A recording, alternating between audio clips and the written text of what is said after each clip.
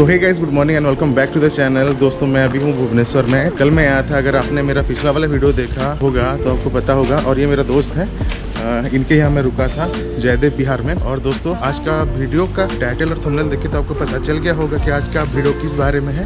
दोस्तों, आज हम लोग जा रहे हैं चिलिका भुवनेश्वर से जा रहे हैं चिलिका बस से जाएँगे। और कौन सा बस से जा रहे हैं, क्या सब कुछ होता है, आपके साथ पूरा डिटेल शेयर करेंगे। आप कैसे जा सकते हो भी आपको बताऊँगा। वहाँ का चार्जेस क्या है, क्या सब कुछ फैसिलिटीज़ है, सब कुछ बताऊँगा। तो वीडियो को लास्ट तक ज़रूर देखिए। अभी हम लोग जा रहे हैं पैदल। कहाँ पे जाएँगे? बस कहाँ से पकड़ेंगे। बरामुंडा बरामुंडा। तो बरमुंडा अभी जाना है और वहाँ से बस पकड़ के सीधा जाएँगे चिलिका के लिए। एक्चुअली चिलिका जाने के लिए दो जगह है। एक हो गया आपका बालू गाँव और दूसरा हो गया पांथर निवास। एक्चुअली दो पॉइंट है तो किसी भी एक पॉइंट से आप जा सकते हो। तो हमने डिसाइड किया कि जो है पांथर निवास से जाएँगे। बरकोड़ा या क्या बरकोड़ा ऐसा कुछ था। अभी स्क्रीन पे आ रहा होगा और वीडियो के डिस्क्रिप्शन बॉक्स में मैं डाल दूँगा जो लिंक है। तो चलिए चलते हैं और डायरेक्ट बस पे बैठ के ही बात करते हैं आपसे।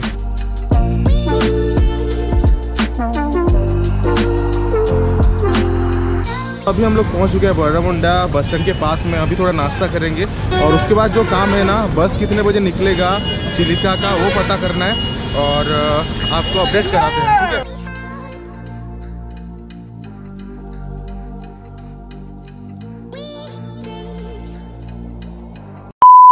तो दोस्तों, अभी यहाँ पे पहुँच चुके हैं जो है बरमुडा बस स्टैंड पे। और ये देखिए, ये गाड़ी ये जाएगा बोल रहे हैं। तो अंदर चलते हैं और दिखाता हूँ एसी गाड़ी है, बहुत ही धूप है अभी।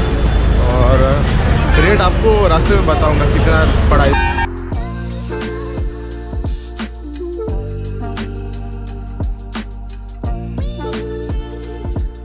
उसके बाद दोस्तों, हम लोग बरमुंडा बस स्टैंड से बस पकड़कर सीधा निकल गए हमारे मंजिल की तरफ़। और जो बस में व्यू आ रहा था ना मस्त दिख रहा था बड़े बड़े पहाड़ दिख रहे थे रास्ते में। उस टाइम मैं सोच रहा था दोस्तों काश मेरे पास बाइक होता और हम लोग जा पाते बाय रोड रास्ते को एंजॉय करते हुए। लेकिन कोई बात नहीं बस में भी बहुत मज़ा आ रहा था। One hour later. सो ये दोस्तों अभी हम लोग पहुँच चुके हैं बालीगुड़ा और करीबन हो गया हो गया अस्सी से नब्बे किलोमीटर भुवनेश्वर से। और जो बस का कंडीशन है ना दोस्तों ठीक ठाक है। और एक सौ पचास रुपये चार्ज लिए हमसे भुवनेश्वर से जो का तक, जो पांथन पांथन निवास, वहाँ तक एक सौ पचास रुपये का चार्ज लिए तो वहाँ चल के ही पता चलेगा कि बस स्टॉप से कितना दूर है पांथन निवास, ठीक है? और अभी थोड़ा यहाँ पे कोल्ड ड्रिंक्स पीने के लिए रुके हुए हैं। एक्चुअली बस रुका हुआ है यहाँ पे तो यहाँ पे थोड़ा कोल्ड ड्रिंक्स वगैरह पीते हैं और उसके बाद निकलते हैं जो चिलिका के लिए।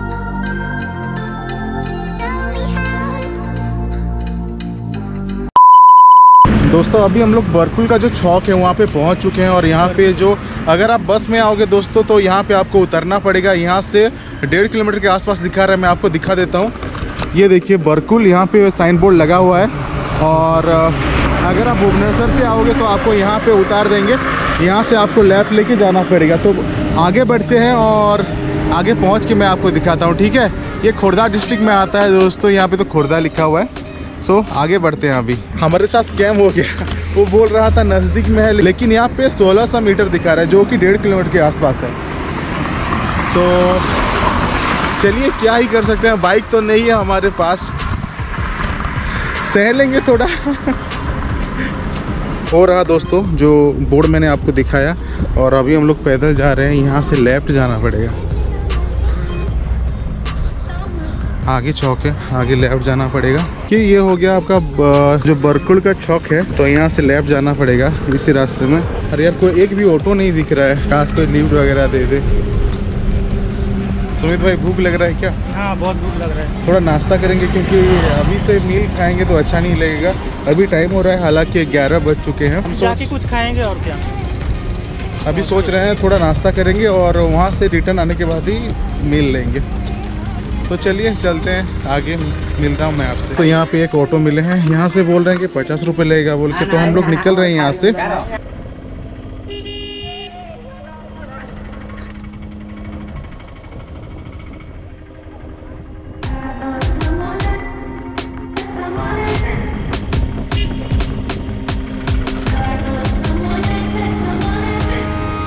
दोस्तों जैसे ही आप बरकुल ओ या जो पांथन निवास है, उसके पास पहुँच जाओगे तो आपको जो है चिलिका लेक देखने को मिल जाएगा। चिलिका लेक बहुत ही विशाल है दोस्तों। ये 40 किलोमीटर लंबा और 20 किलोमीटर चौड़ा है।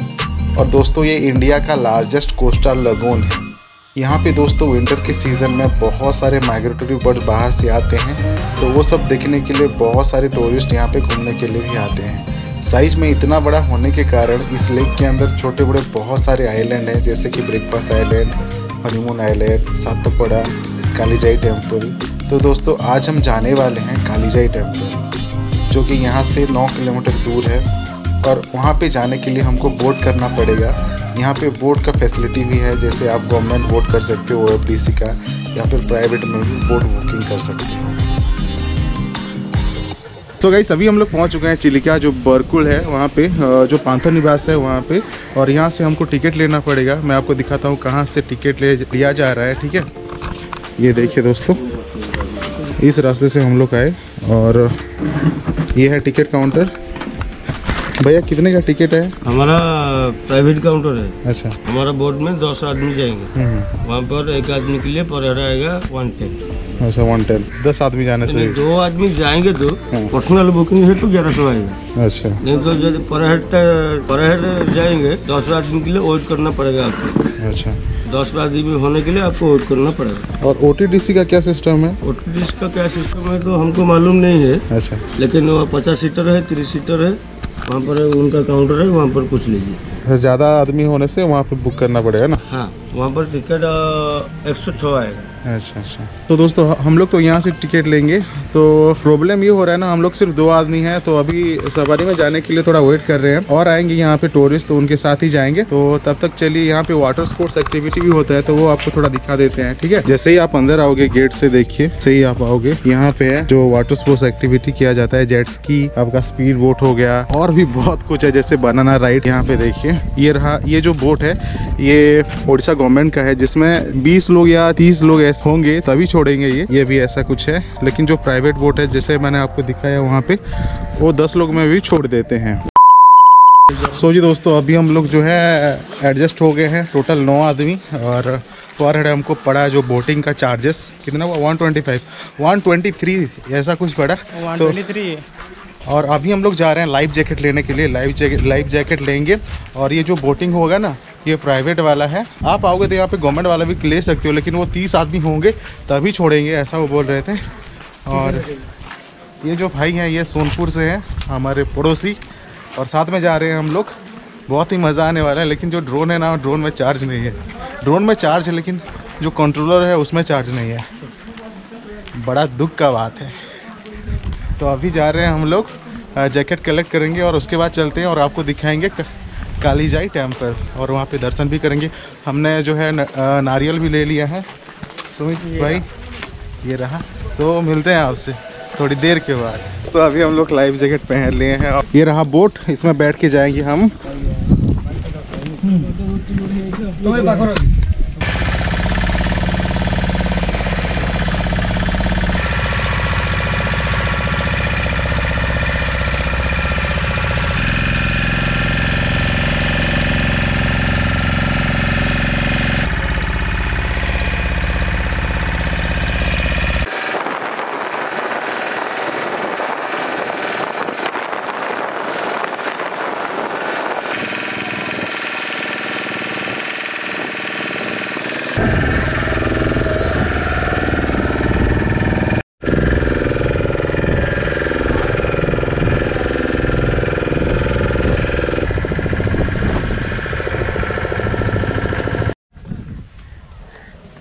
और जी दोस्तों, अभी हम लोग पहुँच चुके हैं कालीजाई आइलैंड और अभी यहाँ पे माता जी को दर्शन करना है और आपको दिखाऊँगा पूरा एरियल व्यू और साथ ही साथ में क्या सब कुछ है यहाँ पे, ठीक है? तो चलिए चलते हैं। और कैसा लग रहा है?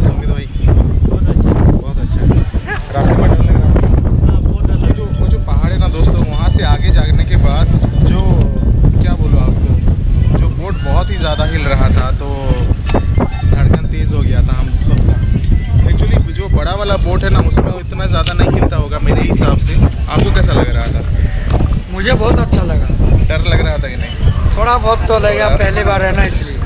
तो दोस्तों, फ़िलहाल अभी हम जो है, दर्शन करेंगे माता जी का। उसके बाद आपको अच्छे तरह से मैं दिखाता हूँ क्या सब कुछ है यहाँ पे, ठीक है?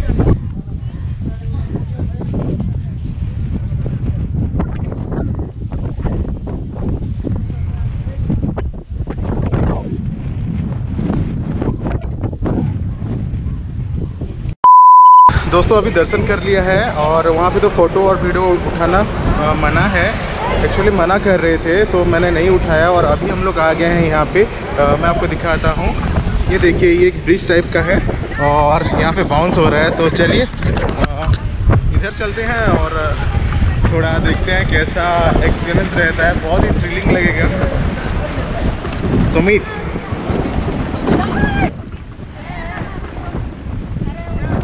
मज़ा आ रहा है और ये देखिए हमारे हीरो दौड़ते हुए आ रहे हैं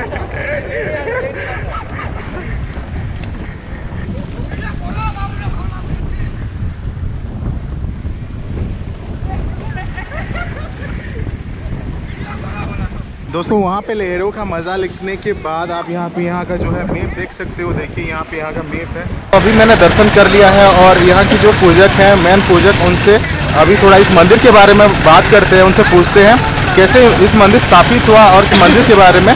तो चलिए, मिलते हैं उनसे। ये मेरा नाम धर्मेंद्र पंडा है, मुख्य पूजक काली जय मंदिर। ये मंदिर का एक विशेषत्व है महत्व है। क्यों बनाया गया है? चारों तरफ़ पानी है, पानी के बीच में क्यों बनाया गया मंदिर? एक स्टोरी है माता जी के साथ एक जुड़ा हुआ स्टोरी है, बहुत बड़ा स्टोरी एक नाम था, लड़की का नाम था जाई वो लड़की शादी करने के लिए जा रहे जा रहे थे बानपुर भगवत पीर से पारीकुद, एक गाँव आगे एक गाँव है, कि गाँव जाने के टाइम पे एक झट तूफ़ान आ गया साइक्लोन और जो नाव है, वो डूब गया, मर गए लड़की। मरने के बाद काली रूप से प्रकट हो गए। और काली जाई बन गए काली जाई नाम से काली रूप से प्रकट हो गए। काली जाई नाम से ये मंदिर बन गए।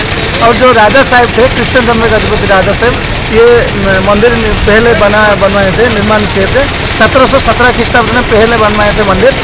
और ये जो माता जी के पास जो भी भक्त आते हैं मन में बहुत विश्वास है और भक्ति लेके आते हैं क्योंकि ये कि जगह पे मन्नत पूरी होती है कि क्योंकि जो भी भक्त आते हैं बोलते हैं कि माता जी के पास मेरा मन्नत पूरी हो गया। सारे भक्त आते हैं मन्नत के लिए। और जो मकर संक्रांति जनवरी चौदह तारीख ये प्रसिद्ध मेला है पर्व माता जी का। जन्मोत्सव ऐसे पालन किया जाता है क्योंकि ये जो टाइम पे जो मकर संक्रांति वो जो दिन है वो मानते हैं कि एक माता जी के पास ये एक शुभ दिन है क्योंकि जो जितने भी सारे भक्त आते हैं वो दिन माता जी का आशीर्वाद लेते हैं परिवार मंगल के लिए।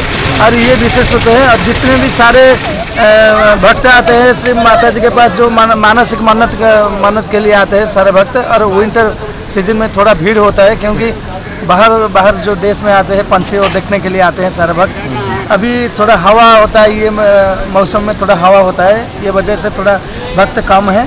और माता जी का कृपा तो बहुत सारे भारत विश्व विख्यात प्रसिद्ध है माता जी का भक्ति। और भाव जितने भी सारे भक्त आते हैं भक्ति भाव बहुत लेते हैं क्योंकि माता जी का ये जो सारे अलौकिक का महिमा ये प्रसिद्ध है माता जी का।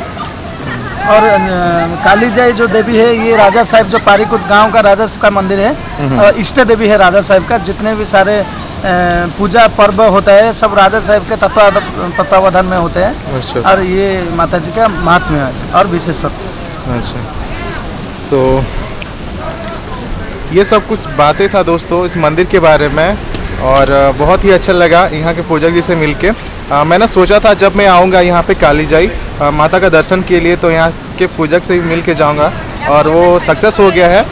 तो दोस्तों अ, अभी यहाँ का थोड़ा ड्रोन शॉट लेने का ट्राई करते हैं। हो पाएगा कि नहीं, पता नहीं, क्योंकि बहुत ही ज़्यादा विंड है, पवन बहुत ही ज़्यादा तेज़ी से बह रहा है और मेरे पास छोटा ड्रोन है डी जी मैविक मैंने आपको पता है। तो फिर भी ट्राई करके देखते हैं। तो अभी आप इन्जॉय कीजिए यहाँ का ड्रोन शॉट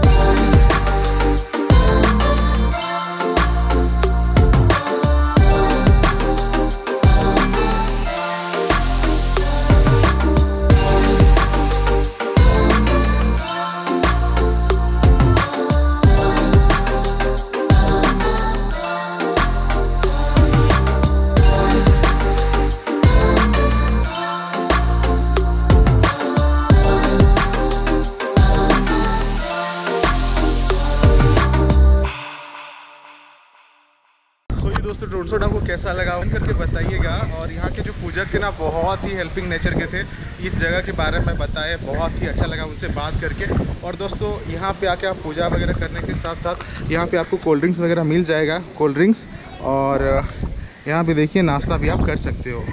यहाँ पे देखिए दोस्तों, यहाँ पे पार्किंग होता है, जो भी बोट है। बहुत ही अच्छा लगा यहाँ पे आके। और जिस बोट में हम लोग आए थे वो थोड़ा जल्दी चलने के लिए बोल रहे हैं तो अभी हम लोग आ गए हैं बोट पे। केंदा लगला कहो बहुत लगला एक नंबर तो। एक number.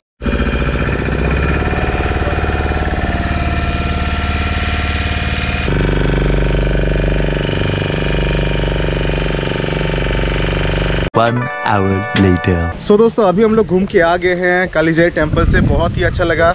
और मेरे साथ जो है देखिए ये दोनों भाई सोनपुर से हैं। और हमने साथ में जैसे कि मैंने आपको बताया सवारी में गए थे जो बोट है तो हम लोग साथ में गए थे। बहुत ही अच्छा लगा इनसे मिलके। नाम थोड़ा बोल दीजिए दोनों का। जयशंकर मेहर भैया का नाम। प्रशांत कुमार मेहर है मेरा नाम। और इनका नाम है प्रशांत कुमार मेहर। मैं अगर कभी सोनपुर जाऊँगा दोस्तों तो साथ में घूमेंगे। जो भी जगह है सोनपुर में।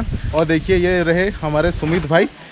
तो दोस्तों, आज का वीडियो को एंड करने का टाइम हो गया है। आशा करता हूँ वीडियो आपको अच्छा लगा होगा। अगर वीडियो अच्छा लगा तो वीडियो को लाइक कर देना। कुछ सुझाव तो कमेंट करके बताना। तो दोस्तों, मिलते हैं बहुत जल्द और एक नए वीडियो के साथ। तब तक के लिए bye bye and take care